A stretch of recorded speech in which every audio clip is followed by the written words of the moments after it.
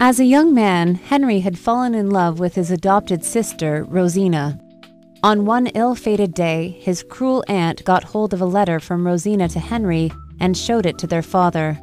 Angered by their relationship, Henry's father threw Rosina out, after which she vanished without a trace and was presumed dead. Henry later returned from his travels abroad and came to Wales in an attempt to discover clues about the cause of Rosina's tragic demise and the whereabouts of her remains.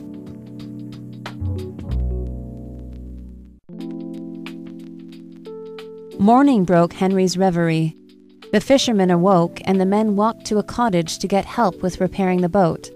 The residents of the cottage informed Henry that a woman had been seen at the tower window and in the nearby forest. While the fishermen fixed the boat, Henry searched the tower but found nothing. In the woods, however, he discovered a small shoe that resembled Rosina's. That night, Henry saw a light from the tower again, so he hurried there and called out.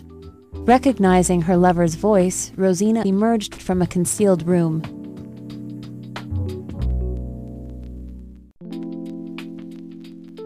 Overjoyed, the couple got married.